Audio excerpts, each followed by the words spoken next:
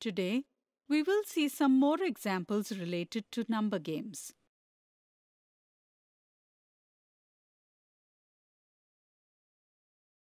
Below is the method of a game.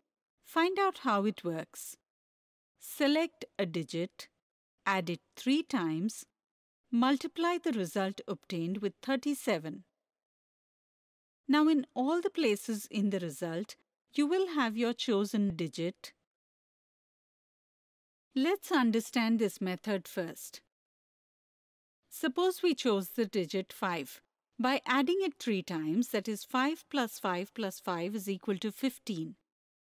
We then multiply 15 and 37 to get 555, in which the chosen digit is 5 in all the places. Now let's understand how this method works. Suppose we chose a number a. To add it 3 times, we will write a plus a plus a, which is equal to 3a. Now we multiply this with 37. 37 into 3a or we can write 37 into 3 into a. Now we can write it as 37 into 3 into a using the associative property of multiplication. 37 into 3 is equal to 111. In this way, if we multiply a with 111, we get the number which has the same digit in all places. Next example. If P40 plus 3QQ is equal to 8PQ, in which P and Q are digits and no carry-on has been taken in this addition, then find out what will be the value of Q plus P. Here, we have to first find the value of P and Q for which we are given P40 plus 3QQ is equal to 8PQ. Let's write it in this way. In the units place, we see that 0 plus q is equal to q. At this place, we do not know the value of q. In the next column of tens, we see that 4 plus q is equal to p. But we neither know the value of p nor q. So, we cannot find the values of p and q from this equation.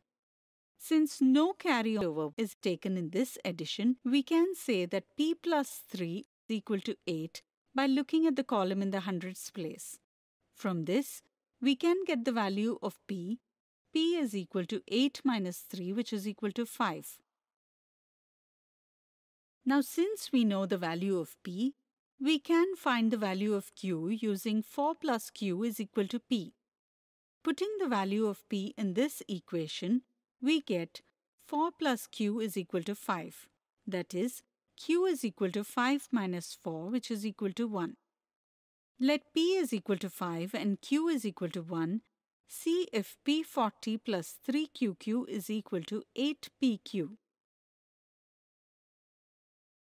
P40 plus 3qq is equal to 540 plus 311, which is equal to 851 and 8pq is equal to 851. Both sides are equal, so we can say that we have obtained the correct values of p and q. Now we will add the value of q to the value of p. The value of q is 1 and the value of p is 5. The sum of this gives us 6, that is, q plus p is equal to 6. So today we saw some interesting examples related to number games.